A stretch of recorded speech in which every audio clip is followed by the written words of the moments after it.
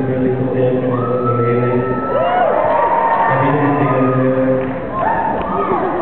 love you, Josh. I love you so much.